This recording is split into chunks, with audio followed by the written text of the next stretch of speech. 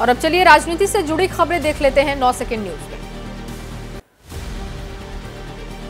एक देश एक चुनाव पर विचार के लिए पूर्व राष्ट्रपति रामनाथ कोविंद के नेतृत्व में गठित उच्च स्तरीय समिति की आज बैठक। बैठक में अब तक हुई प्रगति की होगी समीक्षा। राजनीतिक दलों की राय पर विचार।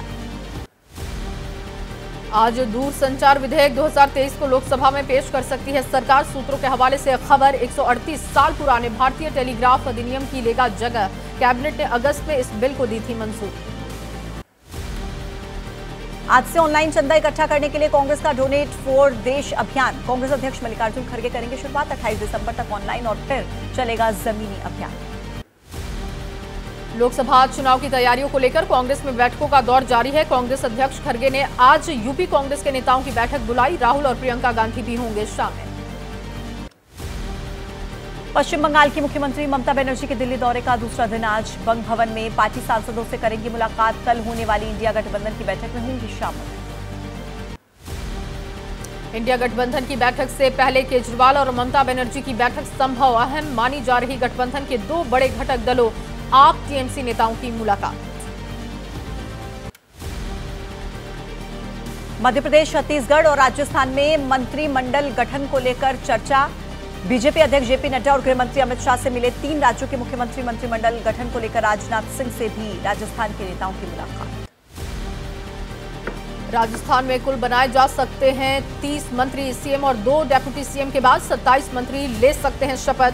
केंद्रीय नेतृत्व युवा और अनुभवी विधायकों को दे सकता है मौका।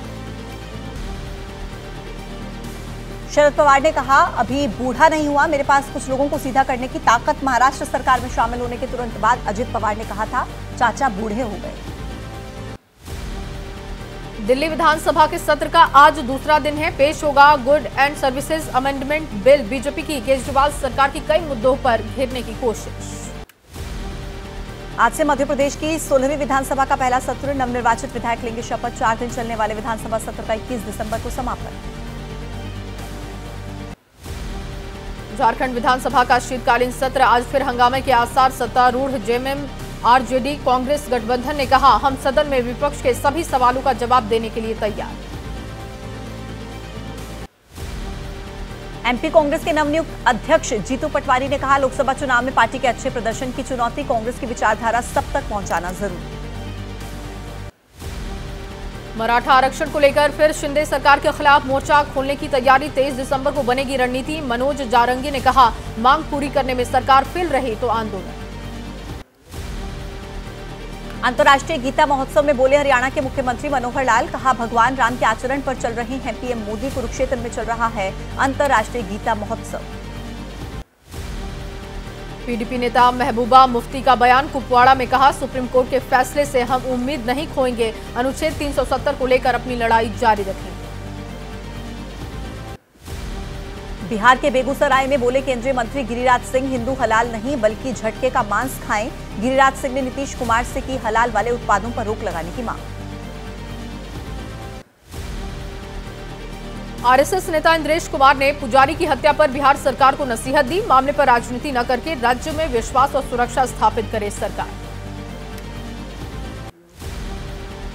बिहार के गोपालगंज में पुजारी की हत्या का मामला गरमाया। विधान परिषद के नेता प्रतिपक्ष हरीश सहनी ने की पीड़ित परिवार से मुलाकात। कानून व्यवस्था पर उठाई सवाल।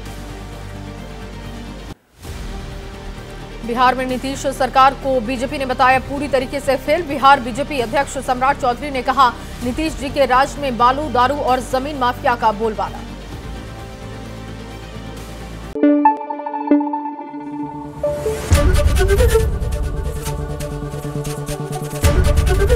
एबीपी न्यूज़, आपको रखे आगे।